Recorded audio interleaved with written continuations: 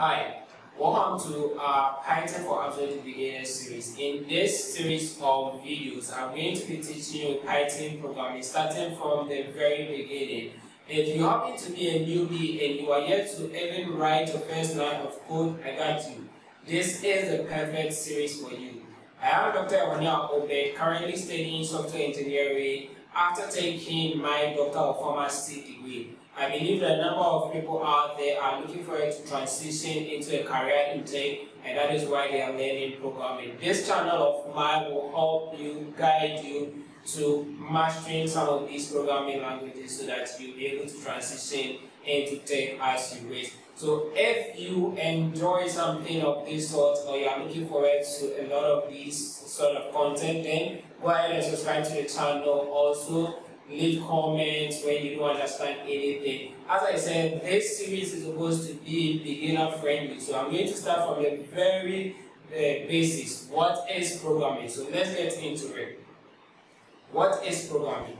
Or what is a programming language? A lot of you have heard this word, programming, coding, programming language. Today I'm going to demystify it for you. So programming languages are basically languages that you write to give instructions to a computer. If you want a computer to do anything at all, you just have to write a programming language for the computer to understand and execute those instructions you want them to execute. Fortunately for you and I, we are able to speak in a language that I will call human language.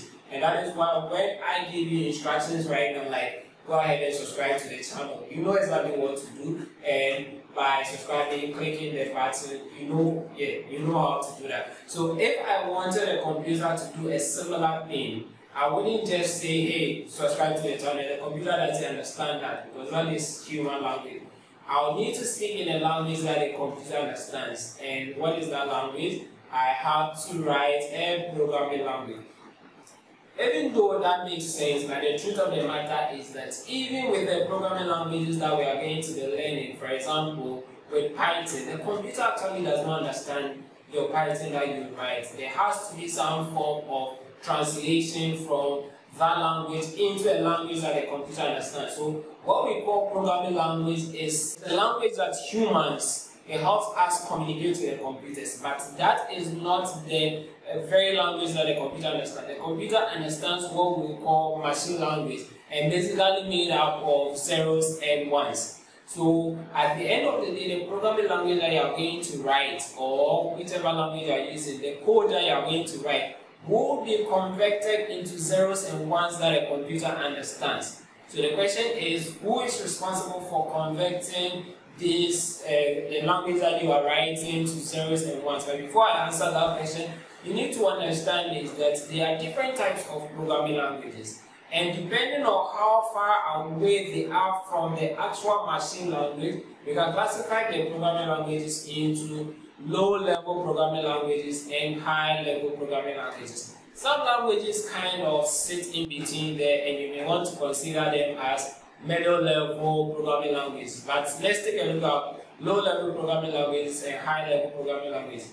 An example of a low-level programming language is C programming.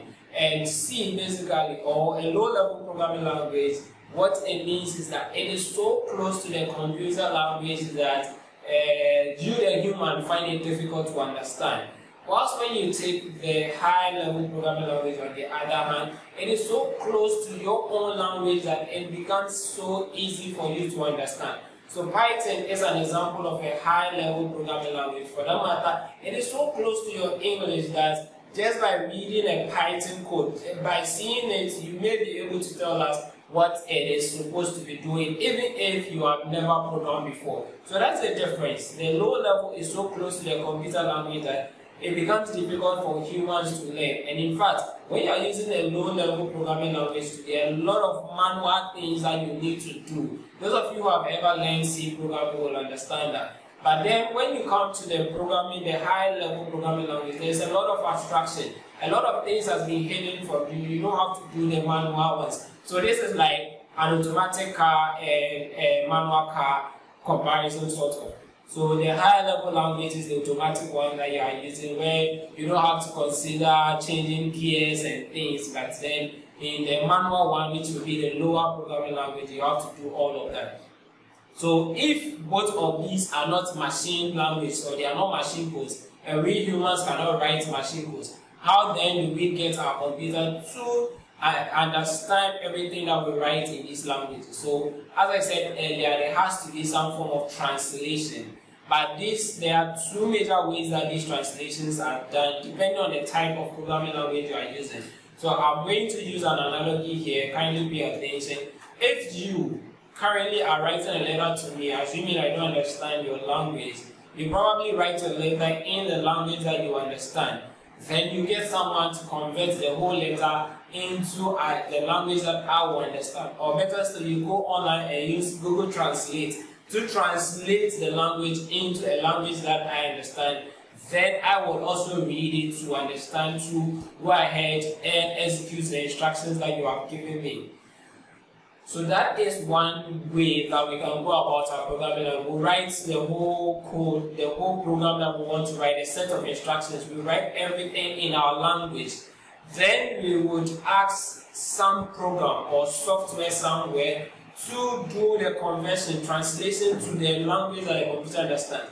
And that process is known as compilation. So we'll get a software that is called a compiler to compile the code into machine language so that the computer will now understand. That is one of the ways that we can get the programming languages that we write or the codes that we write to a form that our computer can understand.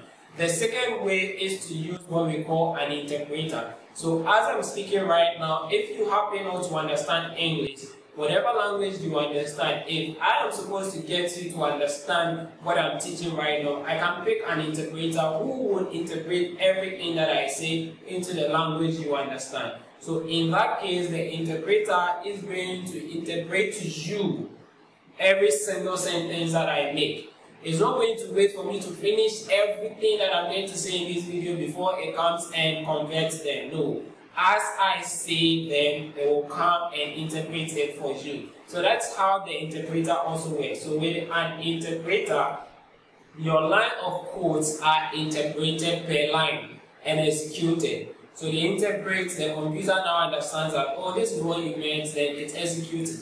So the various programming languages that you come across, you can talk about Python, Java, PHP, JavaScript, and many more others are going to be classified into these two uh, types. That is, whether they are compiled language or they are integrated language. And as I've explained, a compiled language, you write all your code, then a compiler will compile, it will convert or translate everything into machine code before there is running of the program itself.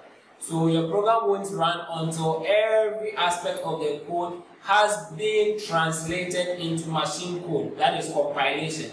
But on the other hand, those that are the interpreted language would be interpreted line by line. So your computer or your program is going to be executed or run line by line. And each line would be converted into machine code. The computer will execute it before you get onto the next one. So that is basically what a programming language is and I hope you enjoyed this lesson. If you did, give the lesson a thumbs up and also if you are yet to subscribe to the channel, subscribe to the channel for more of such videos. Besides, stay tuned for the rest of the series because we are now going to get into the meat of Python programming. I'll see you in the next lesson.